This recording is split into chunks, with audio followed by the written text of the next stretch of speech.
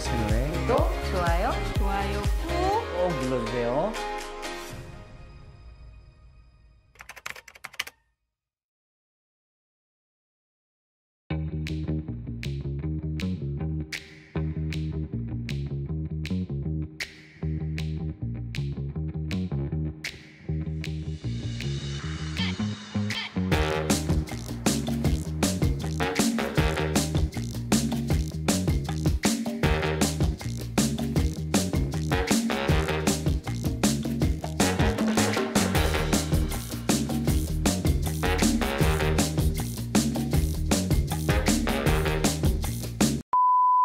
안녕하세요. FRTV 최선희입니다. 혹시 오래된 가구 하나 가지고 계세요? 어, 가구는 옷처럼 매번 바꿀 수도 없고 매번 살 수도 없는데 그렇다고 오래된 가구를 두고 보자니 좀 뭔가 가끔 변화를 주고 싶은 생각 드시죠? 어떻게 하면 좋을까요? 그건 바로 손잡이 교체. 적은 비용, 적은 시간으로 가장 큰 효과를 낼 수 있는 아주 좋은 팁인데요. 오늘 특별히 논현동 자재시장 나왔습니다.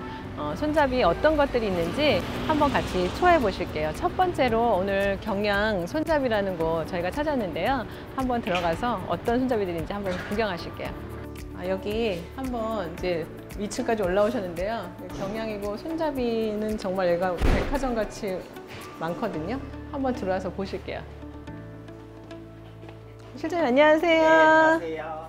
한번 피디님 보여주세요. 여기 전체가 지금 막 레일 문 지금 움직이고 있는데 저 안에가 다 지금 다 손잡이고요. 종류별로 이렇게 디스플레이가 좀 되어 있어요. 그래서 움직이면서 필요한 것들을 이제 볼 수 있게 kids 관련돼서 좀 재밌는 캐릭터로 들어간 손잡이들이고 여러 이제 다양한 어, 손잡이들이 지금 있는데요. 이 뒤가 지금 다 손잡이에요. 정말 종류가 어마어마하죠. 비슷해 보이기는 한데 우리가 사실은 여자들이 옷을 입고 악세사리를 하는 것처럼 가구도 어떤 가구인지 어떤 디테일인지 뭐 앤틱한 가구에 좀 모던한 손잡이를 종류에 따라서 어떤 손잡이를 하느냐에 따라서 굉장히 느낌이 많이 달라지고 그런 것들을 조금 한번 사례로도 보여드리고 어, 좀 소개해 드릴까 해요. 요거는 이 한 사이즈밖에 없어요, 실장님? 요거? 네, 스윙슈 컬러? 네, 지금 만들어 놓은 거 사이즈. 어, 어. 그럼 이것도 주문은 가능한가요? 근데 수량이 네 수량이 적으면 안 되죠. 그거는, 네, 네. 네, 안 되죠. 그쵸. 저희가 뭐 천 개 만들어야지. 그러면 요 신축 컬러로 저 네 개만 주시고요. 그리고 어, 요거랑 어, 요거랑 가져가면 되겠네요. 저희가 또 이거 사실 이제 손잡이 샀는데 손잡이마다 중요한 거 있잖아요. 네, 많이 그렇죠. 실수하는 게딱 두께가 18mm, 뭐 22mm, 뭐 36mm 여러 사이즈가 있거든요.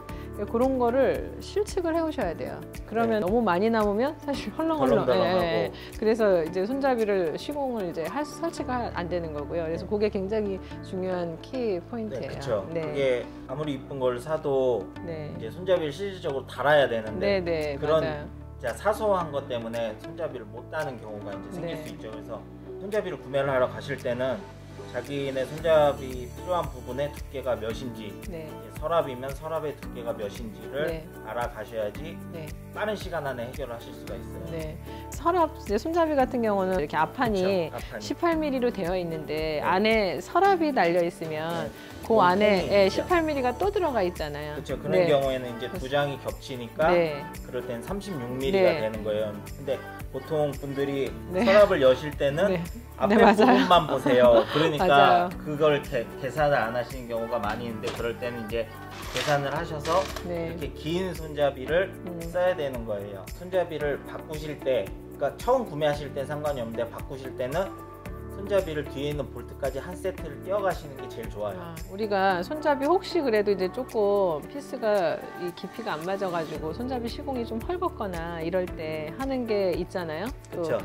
요 요거 이름이 와샤라고 우리가 뭐, 현장에서 많이 부르는 네. 이름이고요. 편하게 평화샤라고 이제 네. 부르는데 네. 볼트가 여러 가지로 있는데 애매하게 안 맞는 경우가 네, 있어요. 좀 헐떡헐떡 예, 살짝. 그럴 네. 때는 이제 볼트를 끼시기 전에 이렇게 와샤 같은 거를 두께에 맞게 뭐 한 개 두 개 정도 네, 맞춰서. 네, 맞춰서 껴주시고 그리고 이제 좀 큰 게 필요하시다 그럴 때는 이렇게 큰 와샤들도 있어요. 네네. 이런 거 맞춰서 껴주시면 네. 거기에 이제 딱 맞게 네, 하시는 게 사실은 조율, 그쵸 네. 그게 중요하거든요. 네. 별거 아닌데 오래 네. 쓰실 수 있는 길이에요. 그렇잖아요. 예, 손잡이는 사실 자꾸 열다 보면 네. 헐거워지잖아요. 그렇죠. 네, 그거는 네. 이제 당연하게 풀릴 수도 있고 네. 뭐 나무 부분이 헐거워질 수도 있는데 이런 걸로 또 조여 놓으면은 간단하게, 간단하게. 고정이 네. 되면 네. 오래 사용을 하실 수가 있어요. 네. 아까 이제 실장님 말씀해 주신 것처럼 정말 원래 있는 피스를 가지고 나오면 그게 제일 좋은 방법인 것 같아요. 이러든 저러든 실수가 안 될 수 있는 방법인 것 같습니다. 네, 아무튼 이거 포장해 주세요. 네.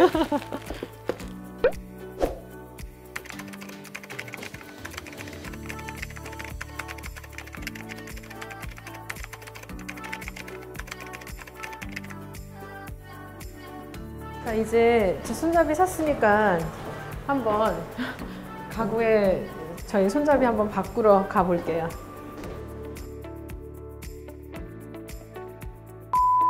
아, 저희 아까 손잡이 사왔잖아요. 여기 이제 사온 손잡이 제가 어느 용도로 이거 사용할지 한번 보여드릴게요. 오늘 특별히 사실 뭐 제가 할 수도 있지만 빠른 시공을 위해서 저희 이제 가구 네, 제가 좀 빠릅니다. 진짜 정확하시고 꼼꼼하시고. 네, 저희 뭐 싱크 뭐 붙박이장 이런 가구 일체 같이 어, 디자인하고 뭐 도와주시는 이제 사장님이시고요. 네. 그래서 오늘 특별히 인력 협찬하셨습니다. 아 그런가요? 네.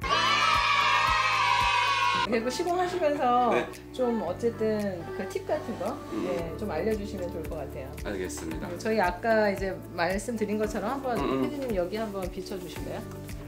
여기가 아까 이제 설명드렸던 게 요 서랍 두께예요. 그래서 요 두께를 알아가지고 가야지 피스 길이 같은 거를 체크를 할 수 있는 건데 위에 한번 top으로 한번 보여주세요.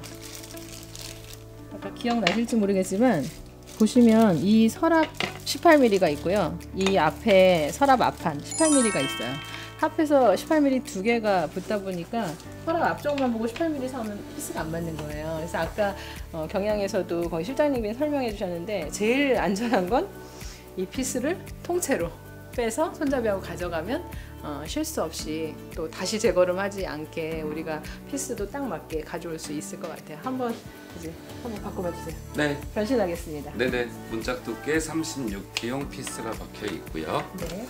손잡이 피스는 그렇게 어, 빡빡하게 돌려 고정되어 있지 않기 때문에 반대로 오케이. 돌려서 이 피스 같은 경우는 규격 나사산을 갖고 있어서 그 피스 그대로 이용하셔서 되겠네요. 네, 바꾸셔도 됩니다. 일부 수입품 같은 경우에 나사산이 틀린데 그런 경우에는 손잡이 구입처에서 손잡이 고정용 나사를 챙겨 오시면 되고요. 네, 하나 이제 됐습니다.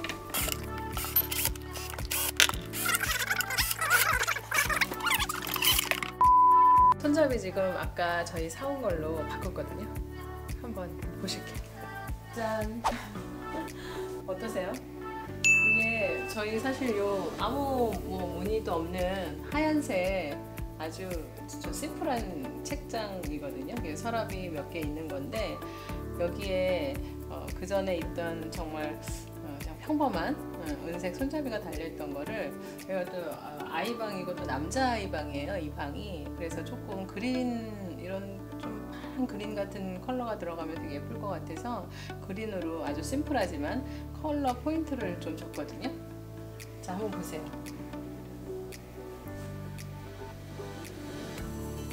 되게 어, 손 그립감도 굉장히 좋고요. 아이가 쉽게 열고 닫을 수 있는 아주 또 안전한 모서리나 이런 것들도 굉장히 안전하게 둥글게 돼 있어서 플라스틱이긴 한데 어, 굉장히 사용감도 좋고 컬러도 좋아서 저는 미션 성공인 것 같습니다. 센터를 재고 이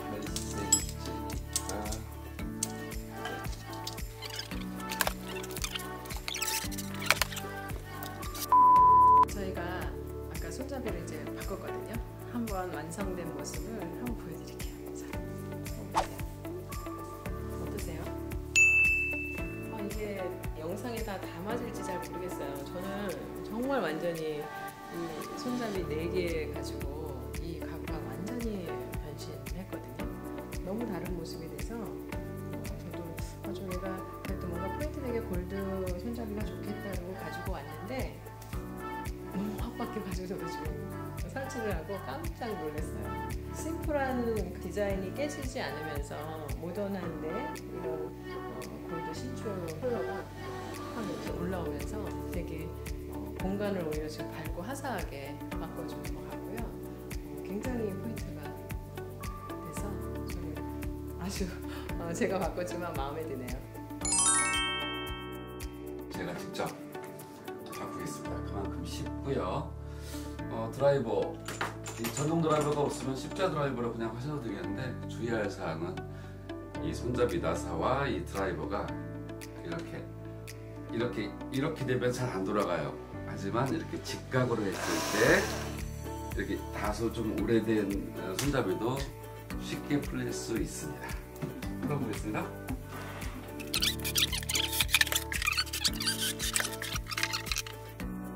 한번 보실게요. 어떠세요? 굉장히 분위기 많이 달라졌죠.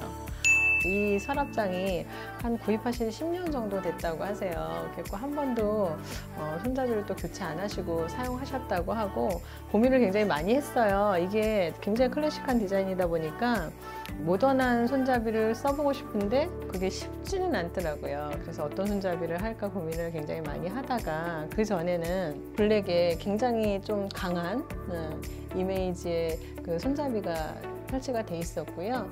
이 손잡이랑 위에는 이런 손잡이가 살짝 크랙간 모양의 패턴이 들어간 세라믹 손잡이하고 같이 믹스에 매치가 되어 있었는데 여기 지금 밑에 보시면은 이 손잡이는 금속하고 세라믹하고 같이 어, 믹스에 매치된 손잡이거든요. 그러다 보니까 어, 서랍장하고의 굉장히 매칭이 좋다고 생각이 들더라고요. 그래서 위에는 이 금속하고 같은 컬러를 어, 선택을 해서 어, 손잡이를 선택을 했고요. 그래서 어, 유행도 타지 않는 디자인이고 앞으로 10년은 더 너끈히 쓰실 수 있으실 것 같아요. 그래서 이렇게 손잡이 하나만으로도 우리가 가구를 바꾸지 않아도 어, 이 디자인이 확 바뀌는 어떤 어, 저희가 한번 음, 경험을 했습니다.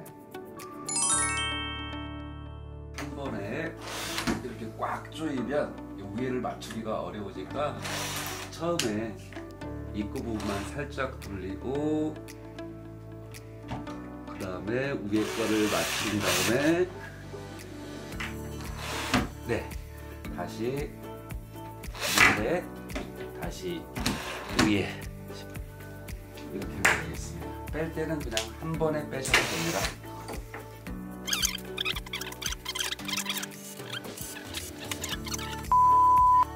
자, 한번 보시겠어요? 지금 손잡이 바뀌었습니다. 어떠세요? 아까는 은색의 그냥 아주 평범한 사실 손잡이였거든요. 지금 저희가 밝은 우드로 되게 내추럴한 손잡이로 지금 바꿨는데 귀엽지 않나요?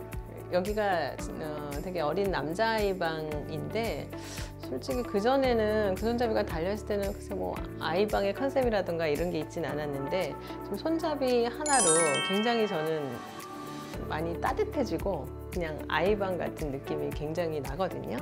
끝 마무리 보시면 마무리가 굉장히 안전해요. 그래서 아이들 방에 저희도 굉장히 인테리어 디자인 할 때 아이방 디자인 할 때 굉장히 많이 사용하는 손잡이거든요. 근데 지금은 굉장히 내추럴한 wood 컬러지만 어, 컬러도 또 칠할 수 있어요. 뭐 원하는 컬러 블루, 뭐 또 여자아이들은 핑크, 뭐 yellow 이런 컬러로 해서 어, 컬러도 각자 다른 컬러 rainbow로 해도 괜찮고요. 손에 사람 손에 오일이 있다 보니까 만지면 색이 조금 진해져요. 근데 그 나름대로 굉장히 또 어, 예쁘더라고요. 저는 사용을 해보니까. 음, 그래서 요 손잡이 하나로 정말 이렇게 문 표정 컬러가 어, 바뀐 것 어, 저희가 한번 보았습니다. 손잡이 구멍 간격인데 이쪽에서 재는 게 아니죠. 뒤에 손잡이 나사, 손잡이 피스에서 간격이 몇이냐? 128인데요. 동일한 128mm로 준비했습니다. 바꿔보겠습니다.